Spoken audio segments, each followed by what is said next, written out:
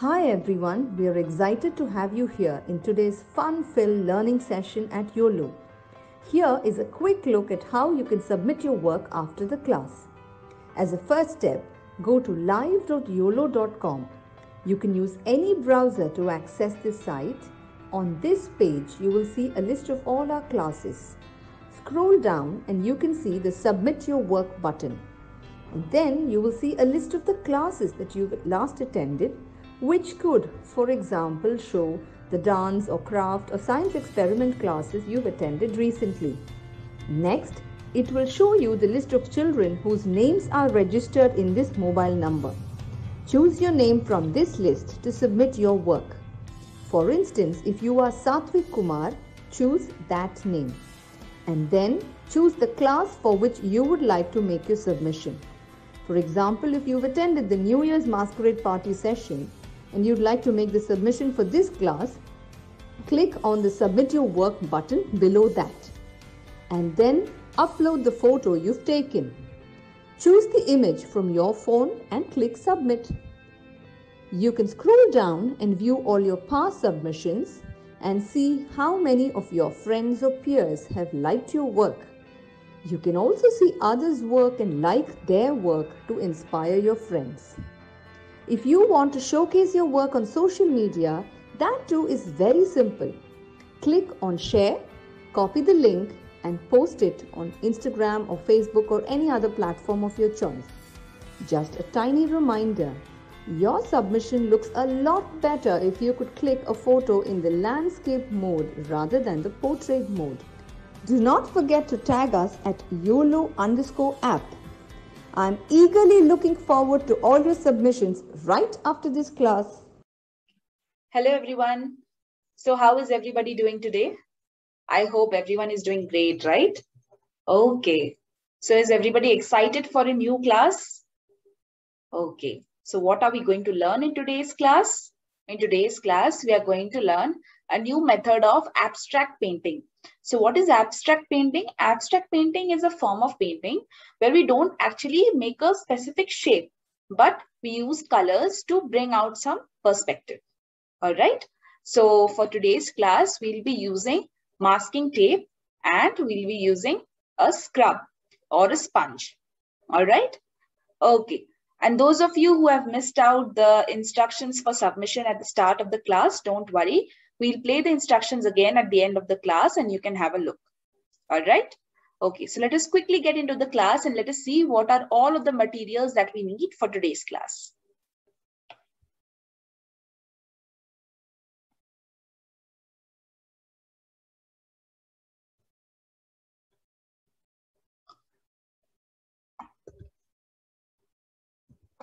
So is everybody able to see my screen? All right. So we will need a paper on which we'll be painting and we need to tape all the four sides of the paper with the help of masking tape. Okay. If you don't have masking tape, you can use sellotape also. But for that, you need to use a very thick paper because sellotape can scrape off parts of the paper also. All right. Okay. What else do we need? Let us quickly see. Okay. So here is the paper that has been taped onto a cardboard. We will need acrylic colors. Okay. Nice bright acrylic colors. We'll need the masking tape. We will need the sponge or the scrub pad. You can also use the Scotch-Brite scrub, scrub pad like I've used. And you need to tape your paper like this. All right. Okay. So before we get into the class, everybody quickly check whether you're having all of these materials or not, and then we'll go into the class.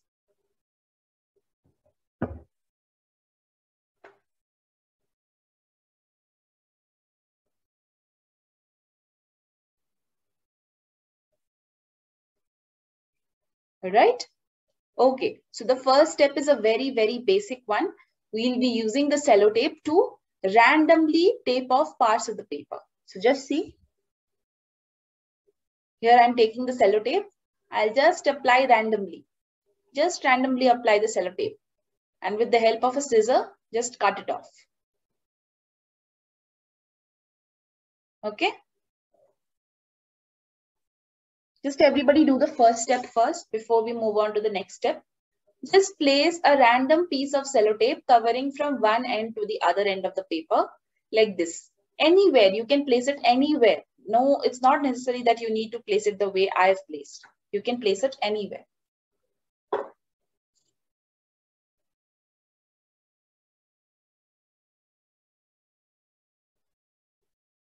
Everyone quickly get it done. So like this, we'll be placing random bits of sellotape here and there. Sellotape or masking tape, whatever you're using. We'll place random bits of the sellotapes and masking tapes all over the paper. All right. So let us see where else we are going to put it.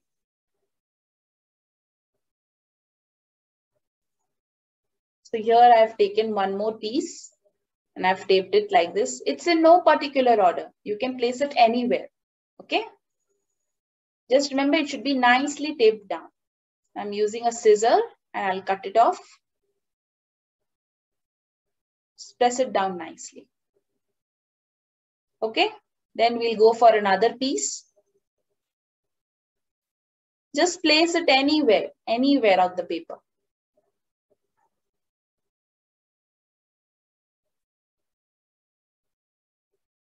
Then we'll cut off the end and we'll press it down.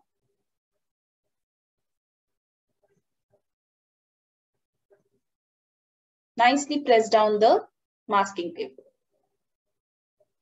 One more let us take from here, from this side to this side. We'll just keep it in the center. Cut it off with the scissor. And there you go, one more piece. So like this, just keep sticking bits and pieces of the sellotape all over your paper.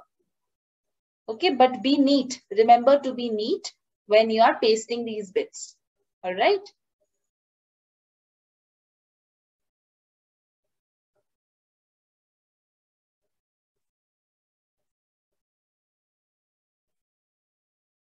You see here?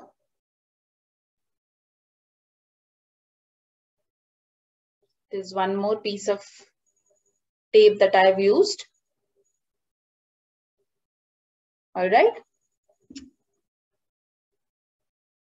Everybody got the idea what we are supposed to do?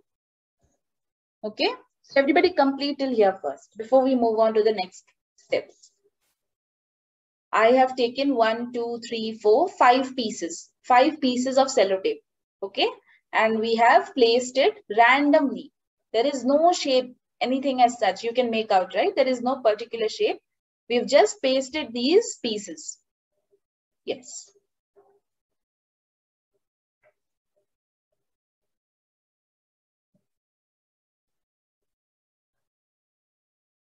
Everybody complete this first before we move on to the coloring portion. You will see just by putting these tapes and just by using a little bit of color, we can get such beautiful effects. We can get such beautiful textures. All right, we are just working towards that. How to create art without using any brush.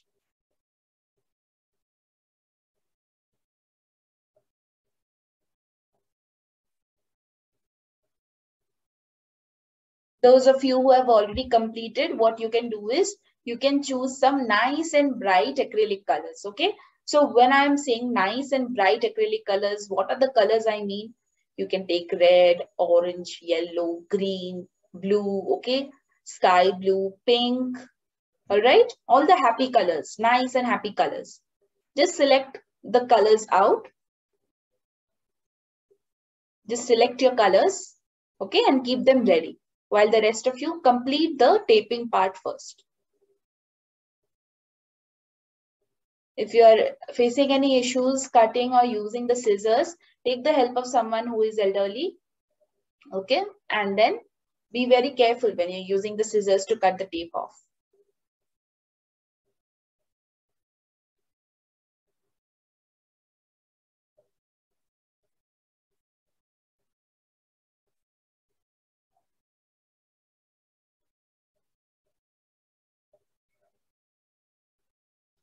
Quickly get it done, everyone. We'll just give it 30 seconds more.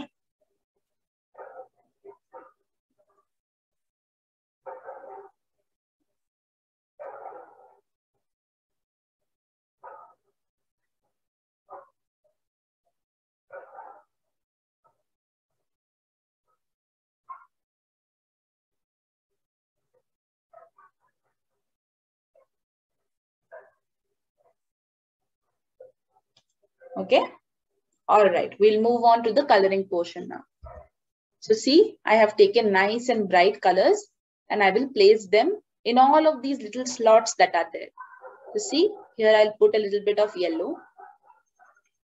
Okay. Just select your colors. I'm taking a little bit of yellow. In that same box, I'll put a little bit of green also.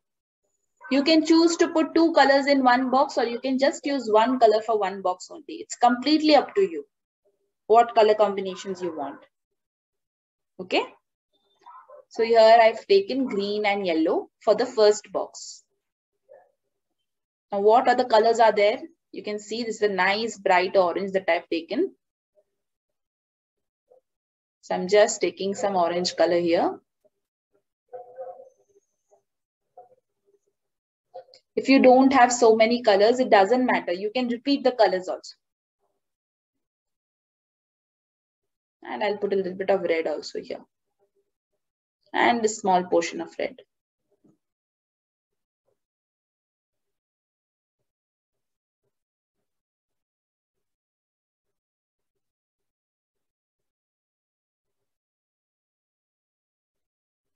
Okay, we'll put a little bit of blue here.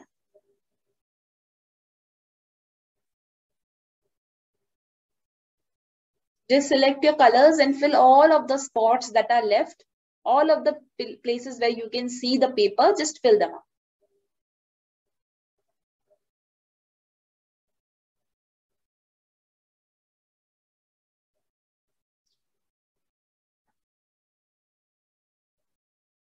Okay, and finally I'll put some pinkish, some peach color at the top portion. Okay. One more part is left. I'll put some sand yellow over here. So we've gotten all of the portions covered. Everybody first pour out the colors on all of the paper portions before we move on to the next steps. All right. Everybody quickly get the paper, these color portions done first.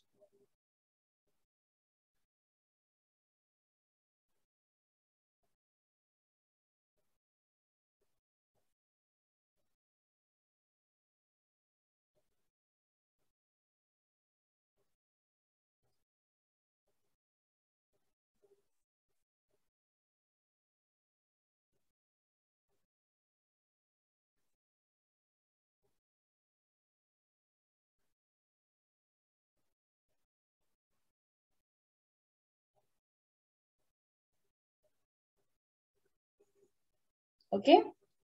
Everybody get ready with your sponge. Okay, the sponge or the scrub pad, whatever you're using, just get ready with it and pour out all the colors that you want to fill in the different spaces. All right. Quickly get done with this step, everybody.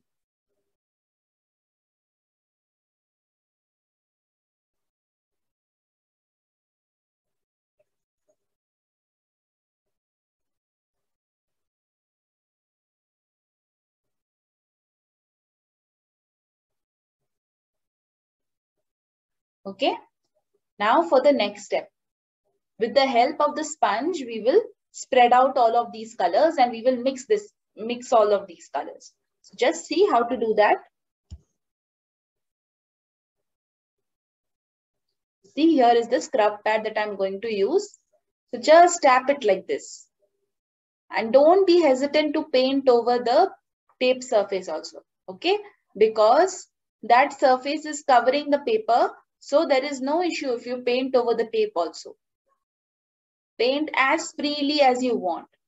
Keep mixing the colors like this and keep painting. You can see my color is going over the paint. I'm not abiding by the lines. Okay. Just fill up the entire space like this.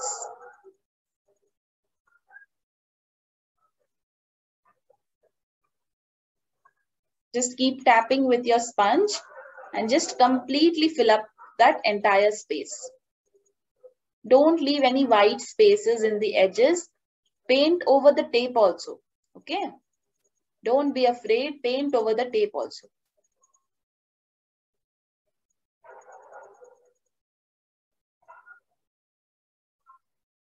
Just getting rid of the white spaces here. Okay, so like this, the first, first lot is done.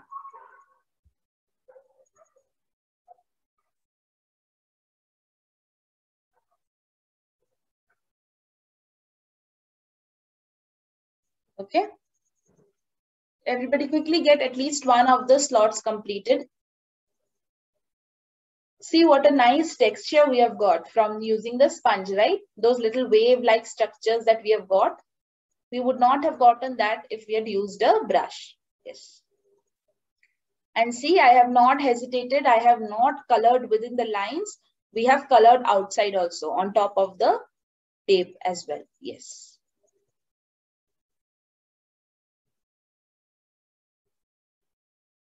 Quickly get it done, everybody.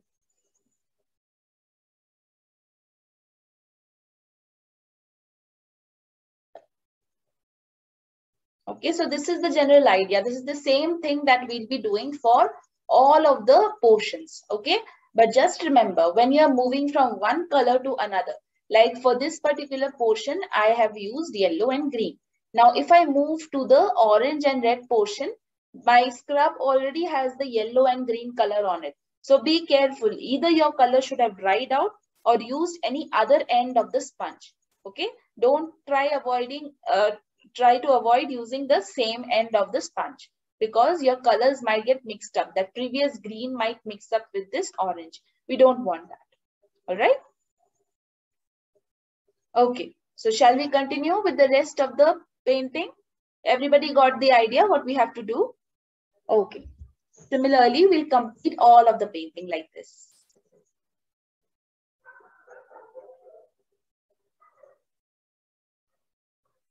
See here for the bottom portion.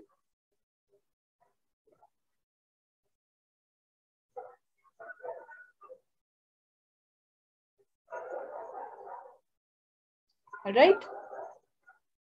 Now I'm painting this orange portion also. Don't be afraid to paint over the tape. You don't have to paint within the lines. That is the beauty of this painting technique.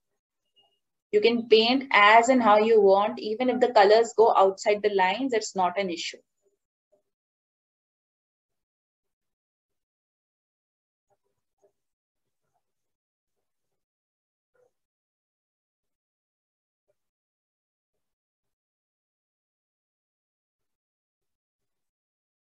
Okay, so like this, get all of the spaces covered.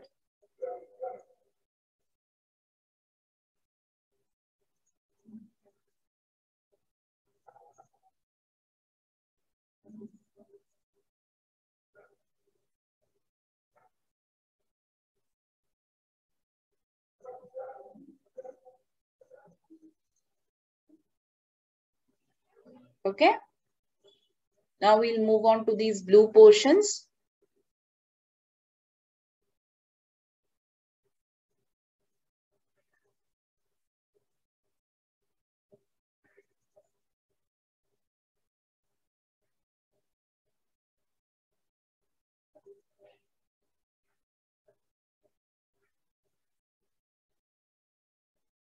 All right.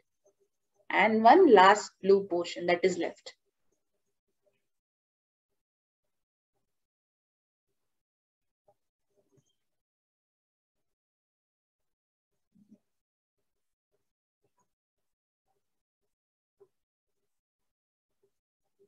Nicely get it done. Nicely cover all of the edges. There should be no white spaces left in between. Can see here some white space was left. So I'm mixing up that blue to get a nice green. All right. A dark green. You can also mix up any colors of your choice. All right. So here we have covered all of the spaces. Everybody just get it done. Everybody first color up all of the spaces. It will take some time. Just cover up all of the spaces.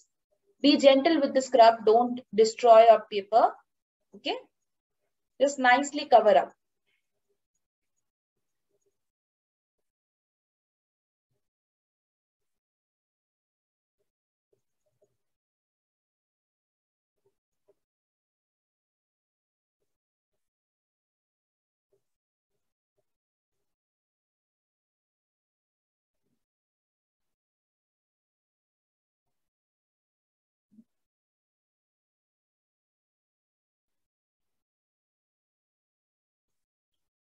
Remember to use the texture of your scrub okay?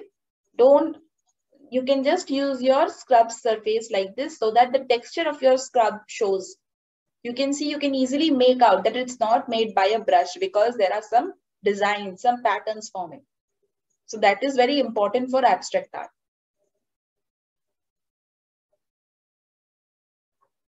Those of you who have finished give it some time to rest okay? Just let it dry out a little bit before we start off with the funniest part the most exciting part of this painting. That is the tape peeling part yes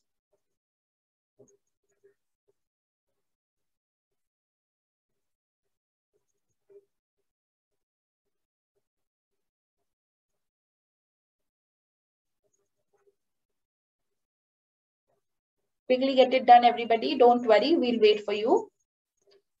Everybody catch up and quickly get this part done first. Those of you who have completed, just let it out to dry so that there are no paint remains when we peel it off.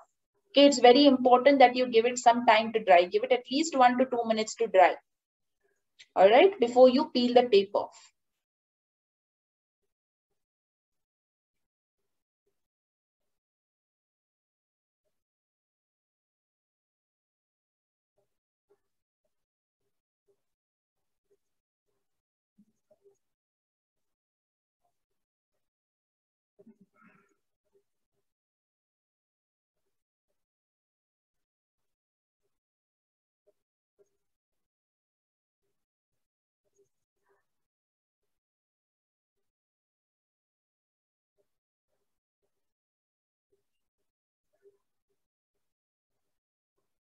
Okay, everyone. Take your time. Don't worry.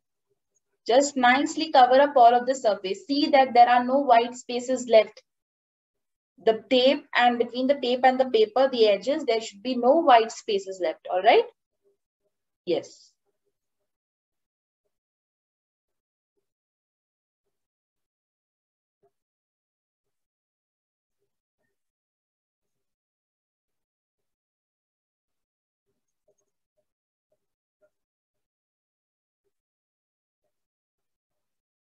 Okay. Is everybody finished? So we'll start with the tape peeling now. So the tape peeling part is very important. Start off with the tape that you had applied last. Okay. And be very, very careful because if your paper is even a little bit thin, it will affect your paper. So be very, very careful. Those of you whose painting has still not dried out, it is still very, very damp.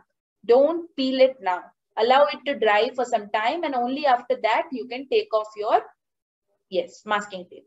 All right? For the rest of you those for whom you it has uh, dried up even a little bit you can try to peel the tape off. So just see. We'll start off with the tape that we had placed last. I'll just make some adjustments here just to make the green color look nice and beautiful. Okay.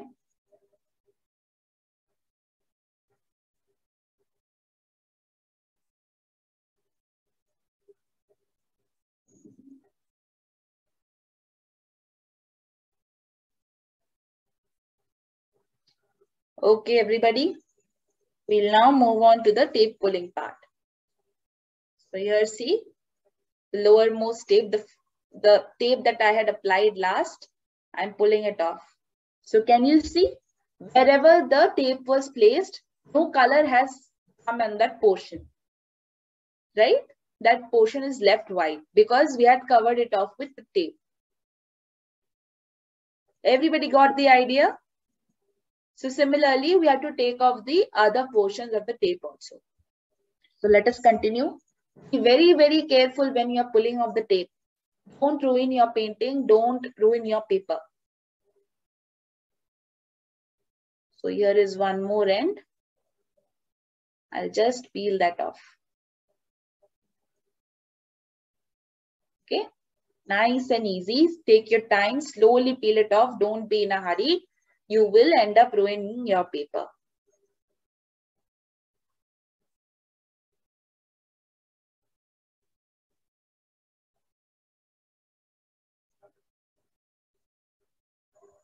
Right, here comes another one.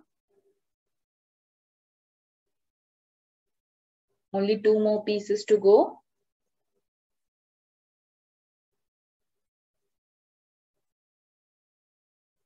This one is also done.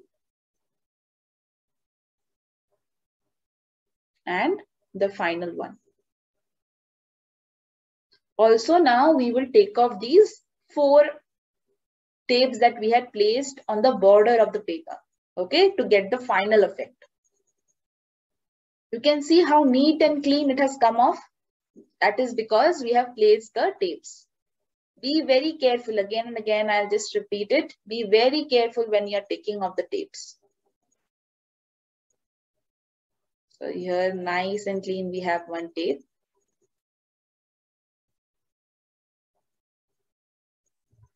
Here is the second one.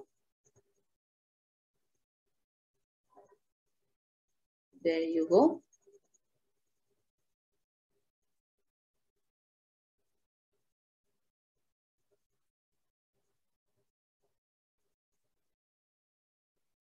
And here you go.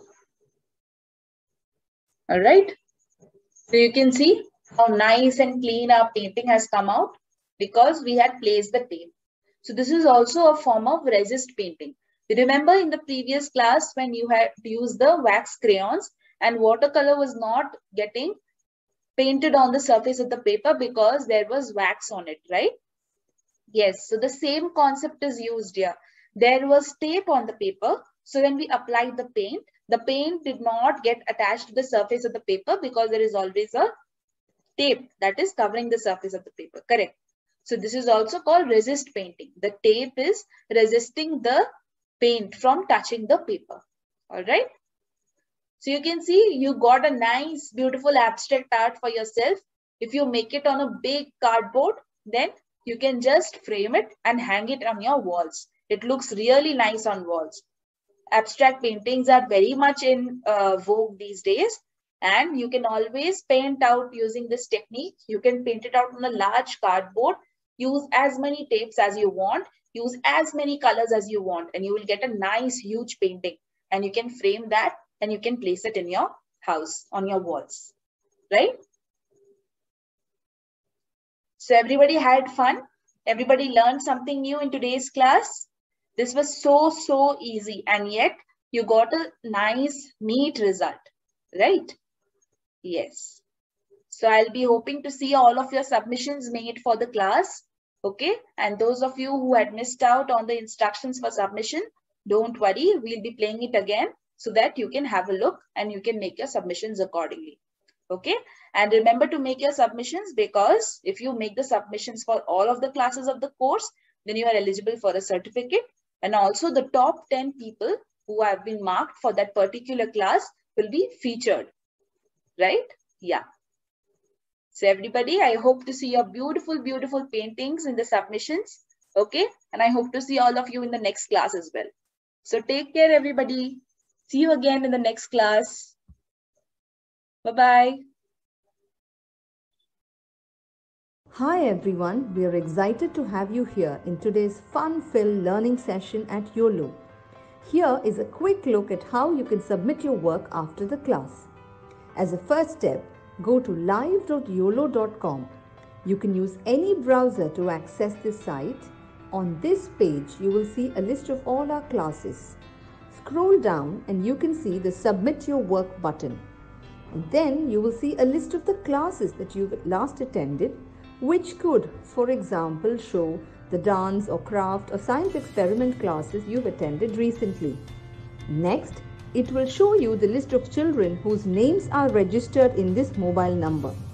Choose your name from this list to submit your work. For instance, if you are Satvik Kumar, choose that name. And then choose the class for which you would like to make your submission. For example, if you've attended the New Year's Masquerade Party session and you'd like to make the submission for this class, click on the Submit Your Work button below that. And then upload the photo you've taken. Choose the image from your phone and click Submit. You can scroll down and view all your past submissions and see how many of your friends or peers have liked your work. You can also see others' work and like their work to inspire your friends.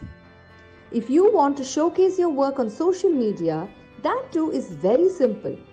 Click on share, copy the link, and post it on Instagram or Facebook or any other platform of your choice.